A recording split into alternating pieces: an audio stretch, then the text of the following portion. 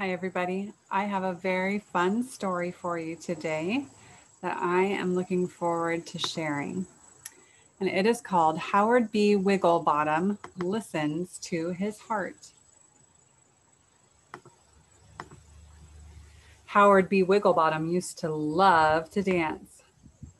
Whenever Howard felt sad, he would dance and wiggle away the blues. Dancing always made him happy until one day at school when the other kids made fun of him and the dancing stopped. Howard wanted to fit in. Being liked and acting cool was important, so important to him that he decided he would never dance again. Maybe everyone will like me if I'm a rock star, so I think I'll try singing, Howard said to himself, but that didn't go quite as planned. Or maybe I'll be the best at basketball, or maybe art, then I'll be liked for sure. Howard felt everyone was better than he was and that there must be something wrong with him.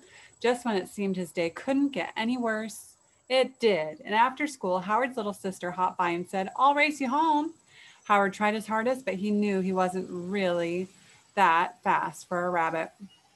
Grandpa Sammy could see his little grandson was a changed bunny. His wiggle was gone. What's wrong, Howard? he asked. Nothing, Howard mumbled. That's not what I see, said Grandpa. It's okay, you can tell me. I'm a good listener. Howard told Grandpa everything. I keep trying and trying, and I'm not good at anything. There must be something wrong with me, Howard cried. There's nothing wrong with you, Howard. You're good enough just as you are, said Grandpa. Try doing things just for the fun of it, for what you'll learn, and for the friends you'll meet along the way. It's not about winning or being liked. Listen to your heart. Do things that make you feel good, no matter what your friends say. What makes you feel really good? Howard answered, Dancing. I love to dance, Grandpa. I thought so, Grandpa said. If you like dancing, then practice and be the best dancer you can be. Maybe I can help. I know a thing or two about dancing. I used to wiggle a bit in my day. Dancing goes way back in our family. Howard, you come from a long line of Wigglebottoms, added Grandpa. Every day after school, Grandpa Sammy taught Howard new dance moves. Howard's favorite dance was the one he made up all by himself, and he and Grandpa called it the Wiggle Bottom. One day, Grandpa said, Howard, be proud of yourself for doing your best and trying different moves. You listened to your heart and invented your very own dance, and now I can tell you feel really good inside. But the next morning, when Howard read the school poster, sock hop dance after school this Friday, he became nervous. Howard wanted to go, but what if his friends laughed at him again? Friday arrived, and everyone gathered in the gym after school, the music started. Howard closed his eyes. He danced and he wiggled. Howard was the happiest he'd been in a long time. When the music stopped, he opened his eyes to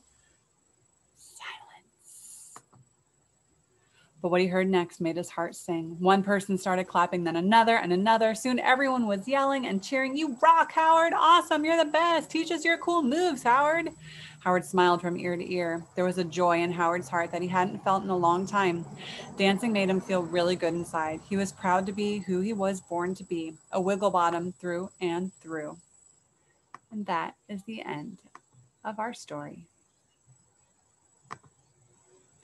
Our theme for the month is deep listening. And sometimes listening means with your ears, and sometimes it means listening to your heart and what your inner voice inside is saying. Howard really wanted to dance. So he didn't need to listen to everybody who was telling him not to. He just needed to listen to his own heart and what he believed was right and true for himself. So I hope that you think about that and that you follow your heart and listen to your own inner voice as well. Thanks for joining me today.